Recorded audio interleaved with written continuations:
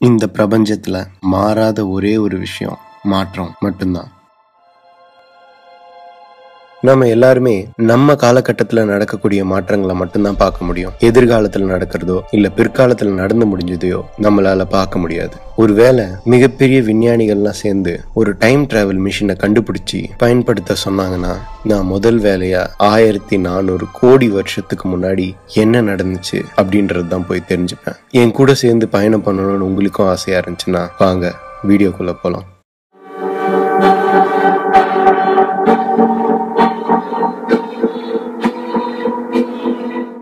ஆயிரத்தி நானூறு கோடி வருஷத்துக்கு முன்னாடி கூட்டிட்டு போறேன்னு சொல்லிட்டு இப்படி காலியான இடத்த காமிக்கிறேன்னு யோசிக்கிறீங்களா? ஆமாங்க. ஆயிரத்தி நானூறு கோடி வருஷத்துக்கு முன்னாடி இந்த மாதிரி தான் இருந்துச்சு. நம்ம கொஞ்சம் ஃபார்வர்ட் பண்ணி போனோம்னா ஒரு சிங்கிள் பாயிண்ட்ல வெப்பம் நிறைஞ்ச ஒரு சின்ன பகுதி உங்க கண்ணுக்கு தெரியும். அந்த ஒரு சின்ன பால் மாதிரி இருக்கக்கூடிய ஒரு விஷயம்தான் வெடிஞ்சி பிரம்மாண்டமான பிரபஞ்சமா உருமாறுச்சு.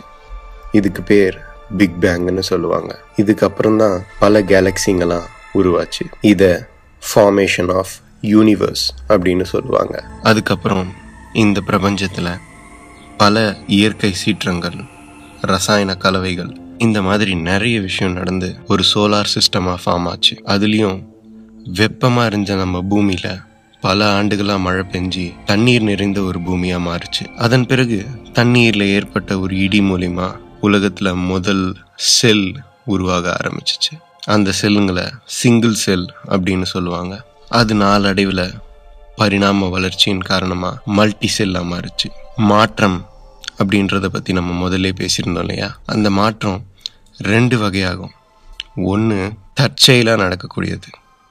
இன்னொன்று தேவைக்கோசரம் நடக்கக்கூடியது. ஆனால் இப்போது இந்த செல்லுலேருந்து நடக்கக்கூடிய எல்லா மாற்றமுமே அதோடைய உயிர் பிழைக்கிறதுக்கோசரம் தேவைக்கோசரம் நடந்துட்டு வருது. கொஞ்சம் கொஞ்சமாக அந்த செல்கள் எல்லாம் மீன்களாக மாறிச்சு. அந்த மீன்கள் நிலத்துலையும் தண்ணீர்லேயும் கலந்து வாழக்கூடிய ஆம்பிபியன்ஸ் ஆமைகள் முதலைகள் மாதிரி உயிரினங்களாக மாறுச்சு. இந்த ஒரு இடத்துல தான் பல கலைகளாக மிருகங்களின் பரிணாம வளர்ச்சி தொடர்ந்துச்சு.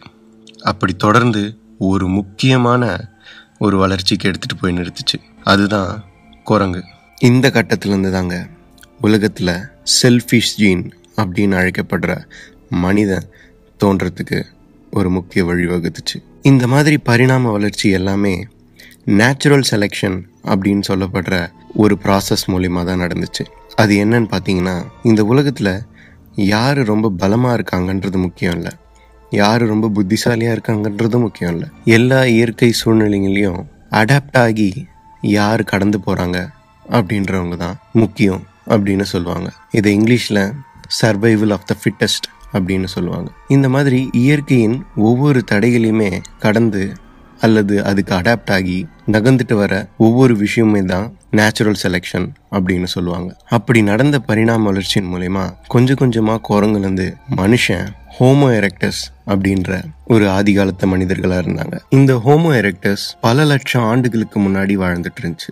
கொஞ்ச நாளுக்கு அப்புறம் அது கொஞ்சம் கொஞ்சமாக அதோடைய உணவு தேவைக்கோசரம் ஆப்பிரிக்காலேருந்து யூரேஷியாவுக்கு பயணம் செய்ய ஆரம்பிச்சிச்சு. பல லட்சம் வருஷங்களுக்கு கழிச்சு அதுக்கப்புறம் நடந்த இயற்கை சீற்றங்கனால நிறைய உயிர்கள் அழியப்பட்டுச்சு. அதில் பரிணாம வளர்ச்சியின் மூலிமா மிச்சம் இருந்த ஆதி காலத்து மனிதர்கள் தான் நியாண்டத்தல்ஸும் டெனிசோவியன் அப்படின்னு சொல்லப்படுறவங்களும்.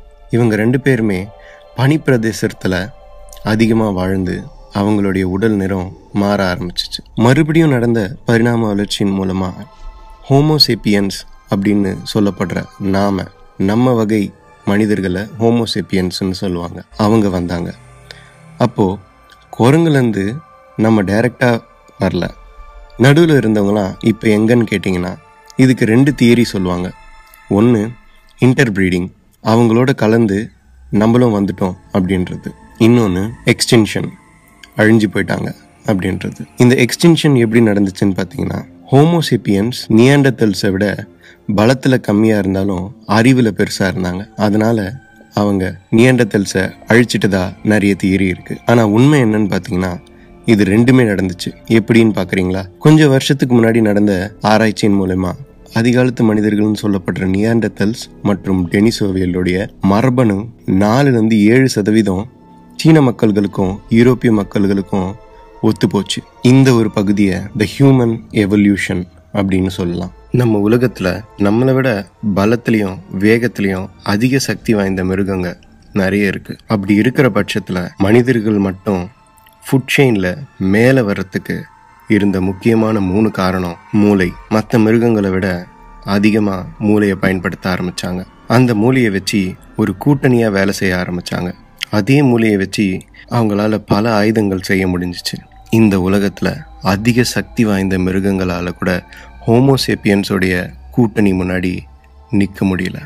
நாளடைவில் ஹோமோசேப்பியன்ஸ்க்கு வேட்டையாடி சாப்பிடப்படுற சாப்பாடு சேர்த்து வைக்க முடியாத மாதிரி ஆச்சு. ஏன்னா வேட்டையாடி சாப்பிட்ற சாப்பாடு கொஞ்ச நாள்லே கெட்டு போக ஆரம்பிச்சிச்சு. அது மட்டும் இல்லாமல் உணவுக்கோசரம் அவங்க வெவ்வேறு இடத்துக்கு பயணம் பண்ண வேண்டியதாக இருந்துச்சு. இந்த ரெண்டு பிரச்சனையிலேருந்து விடுபட்டு வரத்துக்கு அவங்க கையெடுத்த ஒரே ஆயுதம் விவசாயம். இந்த பகுதியை த ரைஸ் ஆஃப் ஹோமோசெப்பியன்ஸ் அப்படின்னு சொல்லலாம். சிம்பான்சி குரங்குங்களால ஐம்பதுக்கும் மேலே கூட்டத்தை சேர்க்க முடியாது. ஆனால் ஹோமோசெப்பியன்ஸால் ஒரு காலகட்டத்தில் நூற்றி ஐம்பது கணக்கில் கூட்டத்தை சேர்க்க முடிஞ்சிச்சு. ஆனால் இந்த விவசாயம் அப்படின்ற ஒரு விஷயம் பண்ணாதான் அவங்களால உணவுகளை சேர்த்து வைக்க முடியும். ஆனால் இந்த விவசாயம் பண்ணுறதுக்கு வெறும் நூற்றி ஐம்பது பேர் பத்தாது. அதுக்கும் மேலே வேணும். இந்த ஒரு கஷ்டமான சவாலை அவங்க எப்படி தெரியுமா சமாளிச்சாங்க? கதை சொல்லியும் பொருளிகள் பேசியும் தான். இந்த மனிதர்கள் தேர்ந்தெடுத்த விவசாயத்துக்கு மிகப்பெரிய விலை கொடுக்க வேண்டியதா இருந்துச்சு. ஏன்னு கேக்குறீங்களா? ஒரு வேட்டைக்காரன் வேட்டையாடுறதுக்கு கொஞ்ச நேரம் மட்டும் வேலை செஞ்சா போதும். அது மட்டும் இல்லாம வேட்டையாடுற விலங்கும் வேட்டையாடுறவங்களுடைய கூட்டணியும் மட்டும்தான் அங்க பங்கு பெற்றுச்சு. ஆனா விவசாயத்துல ஹோமோசேப்பியன்ஸோட கூட்டம் மட்டும் இல்லாம இயற்கையோட விதிகளுக்கும் இவங்க பதில் சொல்ல வேண்டியதா இருந்துச்சு. பல கேள்விகளுக்கு கவலைப்பட ஆரம்பிச்சாங்க. அடுத்த வருஷம் விளைச்சல் எப்படி இருக்கும்? மழை பெய்யுமா பெய்யாதா? இந்த மாதிரி பல கேள்விகளுக்கு கஷ்டப்பட ஆரம்பிச்சாங்க. இந்த கவலைகள்லேருந்து வெளிவரத்துக்கும் இந்த உலகத்தை கட்டி ஆள்றதுக்கும் மனுஷன் கண்டுபிடிச்ச ஒரு பெரிய ஆயுதம் கடவுள். அதன் பிறகு ஒரு கூட்டத்தை கட்டியமைக்க அந்த கூட்டம் நம்புற மாதிரி பல கதைகள் சொல்லப்பட்டுச்சு. இந்த கதைகளை வச்சு தான் பணம் வணிகம் ராஜாங்கம் அறிவில் கொஞ்சம் முன்னோக்கி இருக்கக்கூடிய ஹோமோசெப்பியன்ஸ் கட்டமைச்சிட்டு வருது. அது மட்டும் இல்லாமல் ஒரு சில மக்கள்லாம் சேர்ந்து சட்டங்களை எழுத ஆரம்பித்தாங்க இந்த சட்டங்களில் மேலே இருக்கிறவங்களுக்கு ஒரு சட்டமும் கீழே இருக்கிறவங்களுக்கு ஒரு சட்டம் ஒன்று மாறுச்சு. இந்த மாதிரியான சட்டங்களால தான் ஒரு கிராமத்தை உருவாக்க முடிஞ்சிச்சு. அதே சட்டங்களையும் கதைகளையும் வச்சு தான் நகரத்தையும் உருவாக்க முடிஞ்சிச்சு. அதுக்கப்புறம் மனிதன் இந்த உலகத்தை ஆள ஆரம்பித்தான் இப்போ இருக்கிற காலகட்டத்தில் சிறந்த கதாசிரியர்களாக Tarantino Christopher Nolan Allen Woody இந்த மாதிரி பல பேர் இருக்காங்க. ஆனால் என்னை பொறுத்த வரைக்கும் இவங்களை விட சிறந்த கதாசிரியர்கள் நம்ம முன்னோர்கள் தான். ஏன்னு கேட்குறீங்களா இப்போ இருக்கிற நம்மளால அவங்க சொன்ன கதைகள் ஒரு சதவீதம் கூட கதை தானா அப்படின்றத நினச்சி பார்க்க கூட பயப்படுற அளவுக்கு கதைகளை எழுதியிருக்காங்க. இந்த ஒரு பகுதி பேர் the world domination of homo sapiens அப்படின்னு சொல்லலாம். இதுக்கப்புறம் தான் சயின்ஸ் அண்ட் டெக்னாலஜி ஒவ்வொரு விஷயத்தையும் ஒவ்வொரு முடிச்சுகளையும் அவிழ்க்க ஆரம்பிச்சிருக்கு. Nothing was around before the Big Big Bang. It followed from the special theory of relativity that mass and energy are both are but different manifestations of the same thing. The evidence that makes it a fact is partly fossil evidence, uh, partly compar- comparative evidence, looking at modern species and comparing their bones, their organs, their structures generally, and especially their molecules. இந்த பகுதியை science and technology அப்படின்னு சொல்லலாம் ஆயிரத்தி நானூறு கோடி ஆண்டு கதையை இவ்வளோ சீக்கிரமாக ஹரி படத்தில் வர மாதிரி முடிச்சிட்டேன்னு யோசிக்கிறவங்களுக்கு இப்போ நான் சொன்ன ஒவ்வொரு சாப்டருமே முடிவிலியில் ஒரு தனித்தனி சீரீஸாக வரப்போகுது. இதை நீங்கள் தொடர்ந்து பார்க்கணும் அப்படின்னு சொல்கிறதுக்கு நீங்களும் ஒரு மாற்றத்தை செஞ்சாகணும். என்ன தெரியுங்களா? இந்த வீடியோக்கு கீழே சிகப்பு கலரில் இருக்கக்கூடிய அந்த பட்டனை அழுத்தி வெள்ளை கலராக மாற்றணும் அப்படியே அந்த பெல் ஐக்கானையும் அழுத்தணும். இந்த ரெண்டு மாற்றத்தையும் நீங்கள் செஞ்சீங்கன்னா இந்த தொடர்கள் உங்களால் பார்க்க முடியும். இந்த வீடியோ பிடிச்சிருந்தா லைக் பண்ணுங்கள் ஷேர் பண்ணுங்கள் உங்களுக்கு ஏதாச்சும் எதிர்கருத்தோ இல்லை கருத்தோ இருந்துச்சுன்னா கமெண்ட் செக்ஷனில் பதிவு பண்ணுங்கள்